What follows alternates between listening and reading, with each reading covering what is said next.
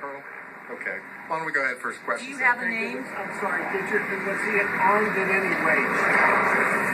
At the time of the takedown, we understand he had a golf club, which he may have acquired somewhere in the structure. We don't know yet.